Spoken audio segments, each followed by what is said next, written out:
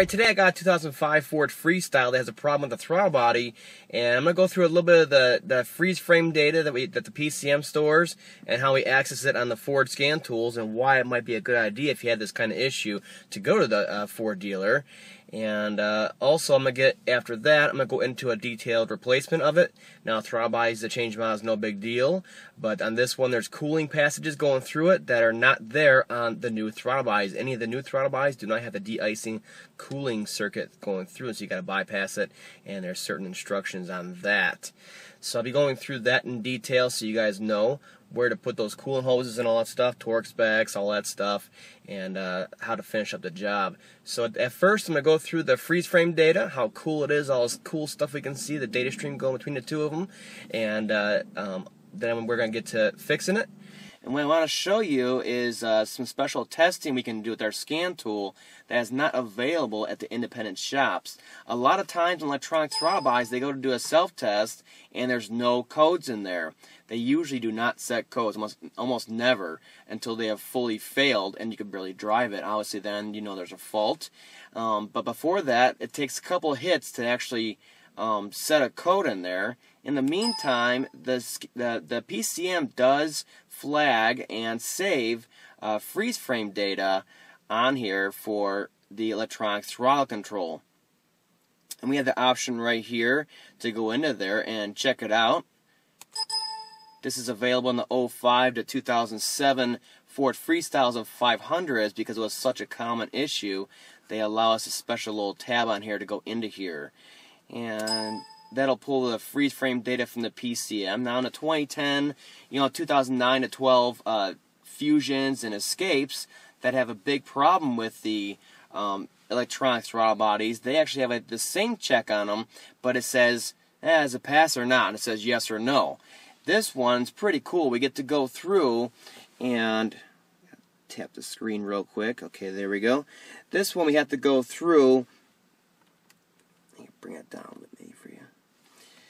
And uh, we can actually read all the the actual data stream coming into the PCM there, and we can see right here without flagging any kind of faults that the actual throttle angle that was measured and what it wanted was way off. That's over, you know, that's like 11 degrees, and it shouldn't be more than 5, ideally under 3 degrees difference between these two. Therefore, because the throttle plate is off, our load is off, which affects transmission shifting. It affects a lot of different things. So we used to have to go through here and manually go through this data stream and make sure there's no ones in it. And this one has uh, all zeros, so we're good there. But we do see a throttle plate problem as far as having a, a big difference on there. That's definitely a that's a real common fault on electronic throttle bodies. The plate will not be where it's supposed to be, and that can cause surging, no starts, all kinds of stuff. But also in this next page, we got to look through all this data and the zeros in here and make sure there's no ones in here also. And then you can go through and you see all the stuff that the PCM's always watching. These e-quizzers and all kinds of stuff uh, for the actual electronic throttle body. And the reason why I do this is because it is electronically controlled and I want to make sure it's not um, going you know, wacko on it and the car can have a runway situation. So, so it's always monitoring multiple angles and uh, areas of the engine to make sure that it's working properly. And this one up here, the most important one, right here, same thing. The the throttle plate measured and desired, you can see again are way off. And there's a couple other things on here that don't mean anything to us. But this is how it used to be. We used to have to go through all these these X's and ones and zeros all by ourselves and uh, go through here. But it's very, if you know how to read this, it's very good information to catch those intermittent concerns. All right, now changing these out is pretty uh, straightforward, but you'll notice your old one's probably heated just like this, has coolant lines running to it, whereas the, all the new ones that came out, that none of them are heated now. There's not an option for us. We got to bypass this hose and uh, modify the other one. That's coming out the bottom of the actual throttle body, so it connects up to here. And we get rid of all this and the old throttle body. So the first thing we're going to do is unclip the air filter here, pull off our mass airflow connector. Make sure you pull back on the red tang. Then I've got to the side, and then there's a hose right here, pulls right out. Whoa. And then this one, push in the tang right there, pull up, put it back like that, and then we're gonna unclamp it. It's an 8 millimeter, and I think this one's loose already actually uh, from someone messing around with it. Yep, comes right off, and then this whole thing will come right up and out of here, and give us plenty of room to get down in here and uh, replace that. Alright, so like, like, I said, it's pretty straightforward. There's four bolts. They actually hold it in. They're all 8 millimeter. We're going to take those out, leave all these coolant hoses attached. We're going to pop this off now. It's a little vent hose for the transmission. Make sure it goes back on at the end. It's very important for the trans. Over here is the electrical connector. Same thing, red tang. Pull that down. Get it up to the side. And then we're going to start pulling these four bolts out of here. It's going to get quite loud. And what you may notice right here is I put a bunch of rags down under here to catch the coolant once we take the lines off of there. So we're going to have to modify a line, then of course take both lines off the throttle body, the old one. The last bolt out of here.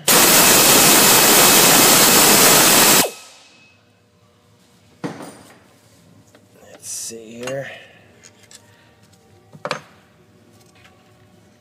Get this up and out of the way. Like so. You get access to all these. Make sure you pull your radiator cap, your coolant bottle cap. Looks something like this on the passenger side. Pull it all the way off. That'll depressurize the system. And then we can start pulling these coolant lines off and have minimal loss in the system here.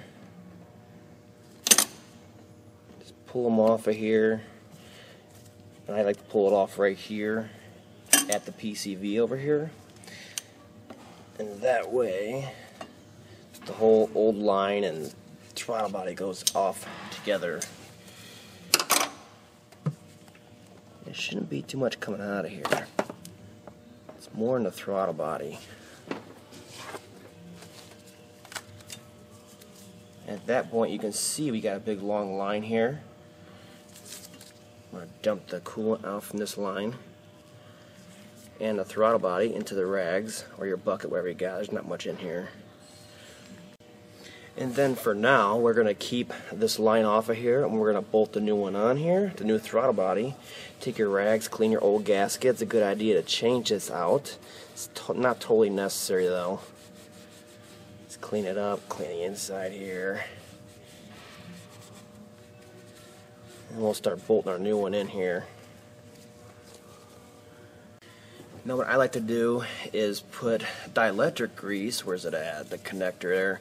This is a connector for the, the throttle position sensor and the motor uh, that's inside of the electronic throttle body. I like to put a little bit of dielectric grease on there, XG12 from uh, Motorcraft. Looks something like this.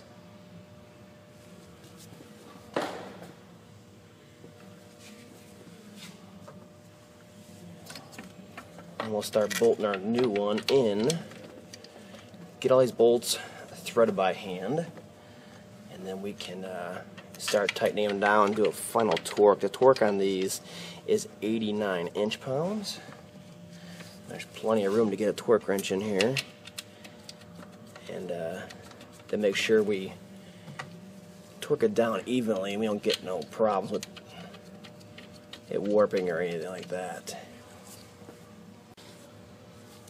Same thing, crisscross, 89 inch pounds.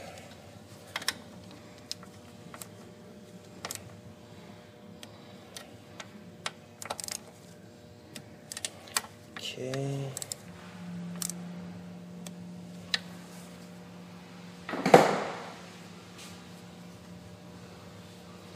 Let's get our connector on here right now so we don't forget push it until it fully clicks in and then push in your red tang.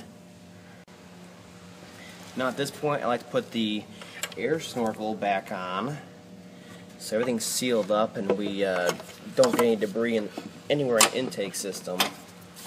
drop anything in there, anything like that. So clamp it down, put it back in over here. Make sure it's fully seated till it stops.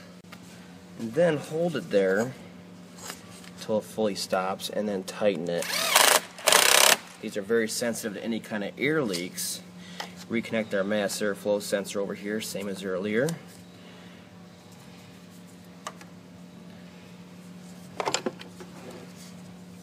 Your air hose, or vacuum I should say.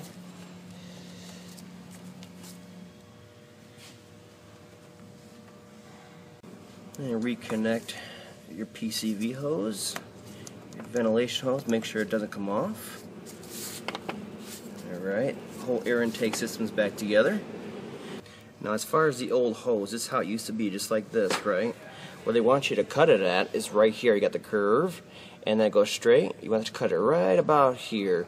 And you can also eye it up on here as far as how far it takes to reach over to uh, this port on here also. And I'm going to cut that off to the side here over the rack so you get no coolant on the engine.